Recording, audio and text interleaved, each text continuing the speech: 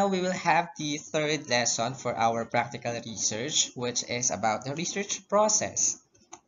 And to define process, it means these are the series of actions or steps taken to achieve a particular end or goal. Just like when we are craving for something, kuwari gusto natin kumain ng burger, ng fries, ng um, chicken wings, ayan, gusto ko yung mga yan. Siyempre, hindi naman instantly, pag naisip natin, gusto kong kumain ng ganito, is andyan na sila at hand, ba?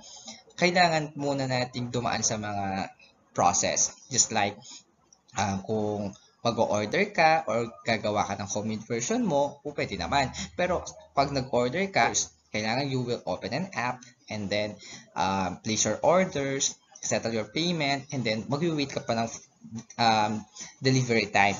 Nang sa ganun, makakain ka ng gusto mong yon. And kung gagawa ng homemade version mo, have to go out and look for a store kung saan makakabay ka ng mga products na yon.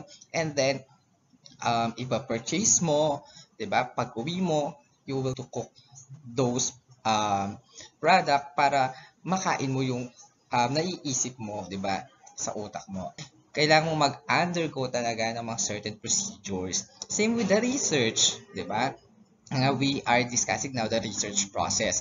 Hindi siya kapag naisip mo na gusto kong mag-conduct ng study about this issue, gusto kong pag-aralan to is ganun lang siya kadali. May mga proseso ka na gagawin. And of course, may mga sinasuggest na research uh, process ang mga experts natin o yung mga nauna nating mga researchers. Yan. Just like according to Whitmore and Melkos 2008, there are five phases of research process. At ang una nga daw dyan ay ang conceptual phase. Pag sinabing conceptual phase, pasok po dyan ang identifying the problem, reviewing the literatures, formulating the hypothesis, developing the research framework, and determining the research purpose and objective.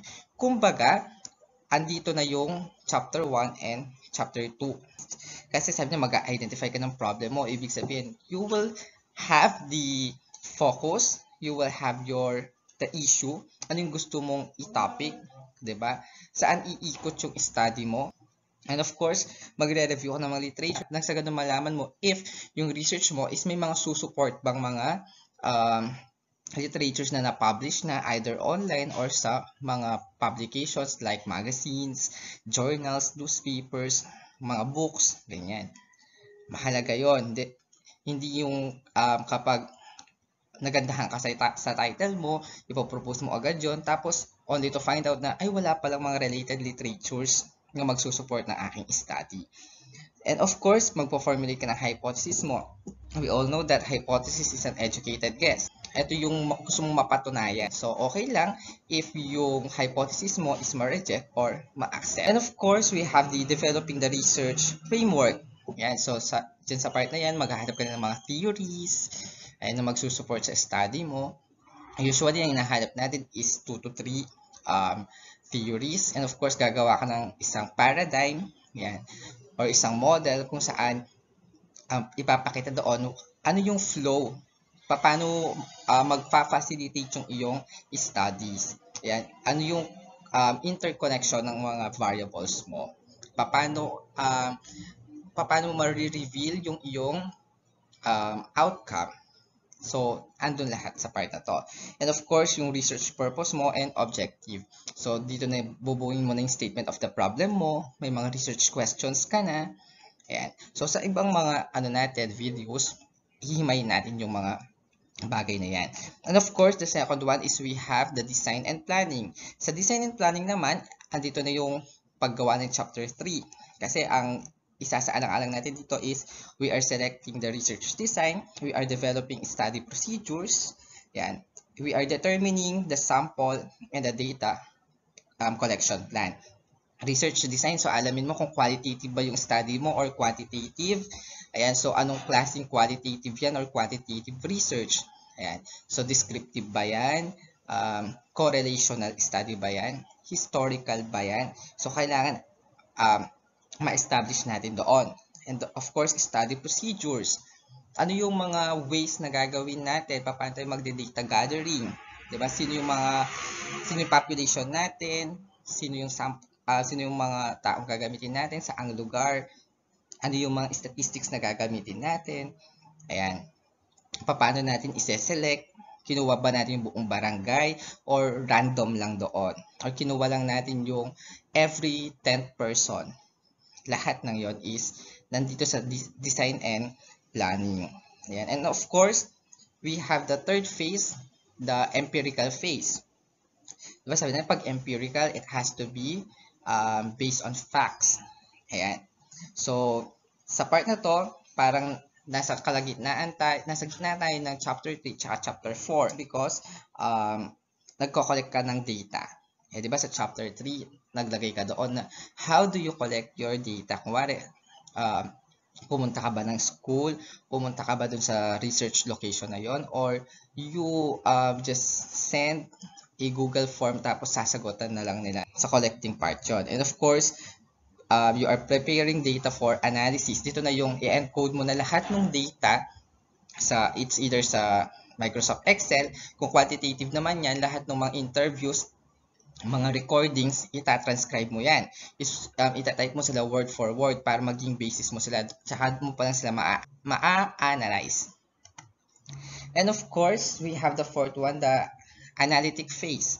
Yan. Sa analytic phase, we have analyzing the data, interpreting the results, and making conclusions. So, pasok na dito yung chapter 4 and chapter 5. Kasi pag na-collect mo na yung data, na-encode mo na sila, it's time for you to present them. Nasa iyo yan kung through tables or through graphs. Kapag, ano kasi, kapag qualitative, ang ginagamit natin is textual analysis na. Um, tapos, gagawa ka na ng conclusions mo based on the findings. And the last phase is dissemination phase. Ano naman yung dissemination phase na yan? Ito na yung communicating results to appropriate audience and utilizing the findings. Kaya meron tayong mga recommendations, di ba? So, recommendations mo na yon is may mga ina-acknowledge kang mga certain groups, di ba, na sa tingin mo is mag-benefit doon sa results ng iyong research. So, in here, ito na yung parang tinatawag nating um, magpa-final defense ka na kasi ipe-present mo na yung study mo. Kailangan nilang maintindihan, maunawaan ano yung um, gusto mong patunayan doon sa ginawa mong studies. So those are the five phases of research, research process according to Whitmore and Melcott. This time, let's have the research process um, suggested by Rao 2008. So the first one is define the research problem. So, kung babalikan natin yung um, five phases of research process according to um, Whitmore and Melkus, pasok ito doon sa conceptual phase or doon sa unang phase nila. So, define the research problem, sabi ko nga kanina, it is yung part na dapat alam mo na ano yung focus mo, ano yung magiging concentration ninyo or topic. And then, kasi from there, you are going to construct your title. Hindi lang ano yung topic mo. Ano yung gustong malaman doon. Kaya kasabay mo nang ipo-formulate yung mga research problems mo. Same with the scope and the delimitations. And next one, ayan, you are going to review the literature. So, di ba dapat, sabi ko kanina, dapat maghanap ka or mag-research ka agad kung ang topic ba na ipopropose mo is may susuport ang mga studies at mga literatures kaila, um, it's either kinuha mo yung mga yon sa online o kaya naman ang mga literatures mo ay from um, printed materials like journals, uh, magazines, newspapers, yan, mga documents, yan, mga office documents or government documents, especially kung qualitative yung study mo. Yan. Pero may mga cases naman na um, hindi um, mabubuo yung mga related literatures doon sa um, quota na hinihingi. Kasi kapag sa part na to, nire-require yung mga um, researchers na mag-provide ng 25 local literatures, um, 25 foreign literatures, 25 foreign um, studies and 25 local studies. So, all in all, 100 yung dapat mong ma-provide. Pero may mga instances na hindi yun nabubuo, ang i-declare mo na lang is saturated na yung data. Ibig sabihin, or napaka-novel pa ng topic mo. Ibig sabihin, bagong-bago siya. Kaya, hindi pa ganon kadami yung mga um, nag-explore nung study na yon. And of course, you have to formulate hypotheses. Diba? Sabi ko kanina, hypothesis and educated guess. Sa qualitative, hindi hypothesis ang hypothesis ang dinedeclare, kundi assumptions lang. Yeah, so, ang hypothesis natin, dalawa yan. We have the null and we have the um, alternative. Pag null, that is um, symbolized with HO or H0 at ang ibig sabihin nun, there is no significant relationship or there is no significant difference. Kapag naman alternative siya, that is H1, at ang implication nun, there is significant relationship or significant difference. Ayan. Tapos, syempre, um, kapag nakapag-collect na tayo ng data, na-interpret na natin, depende dun sa significance value ngayon ng mga data natin, ma ang mga hypothesis natin ay po pwedeng ma-reject or ma-accept. And of course, the, the fourth one, prepare the research design.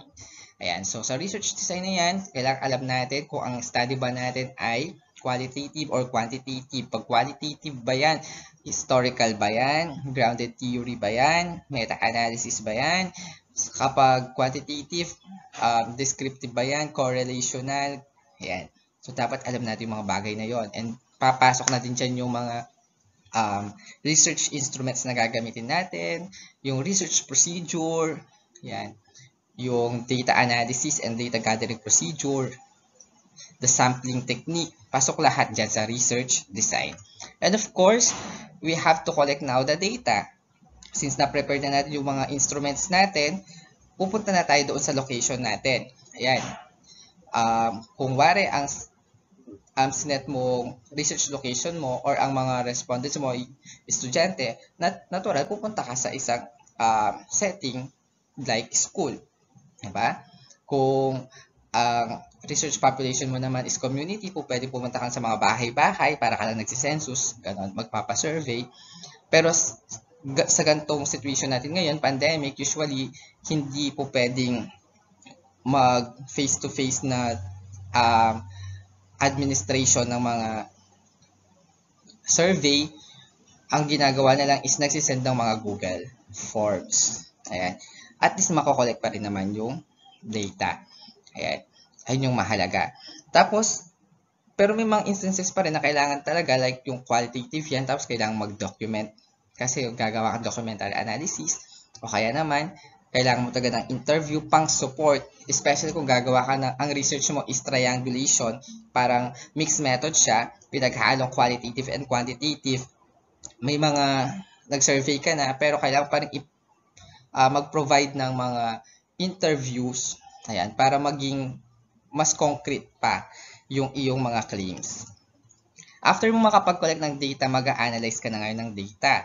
So, uh, kasama kasi ng collecting the data is ine-encode mo yung mga yon. So kung interview yon, um, gagawa ka ng transcription, uh, pakikinggan mo yung record and then uh, itatype mo yon. Kung survey naman yan, encode mo yun sa Microsoft Excel. Tapos titignan mo lang yung distribution, ano yung pinakamarami, babae ba or lalaki. Tapos based dun sa mga questions mo. And then analyze the data, ipe-present mo na yung mga data mo either through graphs or through tables. Tapos nakakapag-figure ka na ng, ay, eto yung pinaka sa table na to or sa graph na to, ito yung pinakamadami, ito yung pinakakonti, ito pareho sila ng nakuwang percentage or weighted mean. So, nag-a-analyze ka ng gano'n. Tapos, sa tingin mo, ano kaya yung implications nun or anong ibig sabihin ng mga data na iyon. And the last one or the last step according to Rao is interpret and report, report the findings. Yan. So, magbibigay ka na ng kahulugan ngayon dun sa mga data na halaman mo na ito yung highest, ito yung lowest. Ito, pareho sila. Diba? May mga meaning ang mga yan. Pero yung meaning na yun, hindi siya opinion. Dumalab, dapat, anchored pa rin siya doon sa um, table na yon. Bakit mas madami yung uh, nagsagot dito? Bakit kaya kukunti lang dito? Anong ibig sabihin nun? Kasi, ang gusto natin i-reveal is, ito yung knowledge na gusto mong uh, patunayan at sa tingin mo makakatulong to doon sa certain discipline kung saan ang concentration ng iyong study. And then report the findings. Ibig sabihin, eto na yon um, kasama ng paggawa mo ng analysis, interpretation, tapos nakabuo ka na ng conclusions and recommendations, dito na yung parang magde-defense ka na. Kasi i-communicate mo na yung results. Diba? Na sa ganun, maintindihan nila, na, ah, oh, eto pala yung mga significant findings, ito yung mga bagong contribution doon sa ating um, research body na makakatulong para ma-improve pa yung certain discipline na yun kung saan natin kinoncentrate yung ating study. Ayan, so ganun po.